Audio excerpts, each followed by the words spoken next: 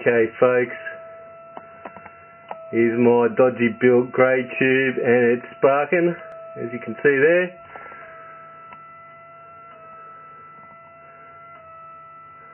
And we're getting lights going on, uh, pulsing as per the spark, so I don't know why the spark is so slow there. Um, pretty much the Gray circuit, copper rod there. I've uh, done a dodgy, soldered on a bit of silver on the end of it. And uh, the other end has got um, just graphite on it uh, with copper rod on the end and I've got the Optos uh, circuit running and it appears to be doing what uh, what Aaron was doing. So this is completely different. Oh, I haven't seen this before. I'm not sure what did I do differently. I've got two grounds. I'm going to have to draw up the circuit.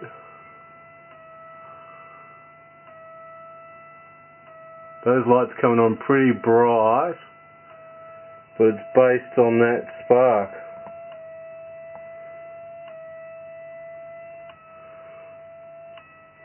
So initially when I turned it on, I think there was a spark to the, the negative, and it's making a completely different sound, this circuit.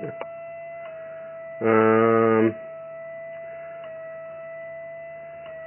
so anyway, I'll turn it off and I'll go over, go over the circuit. Okay, well pretty much the only thing that's different was I, I put together this new uh, uh, what do you call this? It's a, a bridge rectifier, I think it's called, um, using 4,000 volt diodes. Uh, the only difference here, I've got my sphere connected to um, where the positive caps go. Uh, as you can see, I've got all these caps in here in series.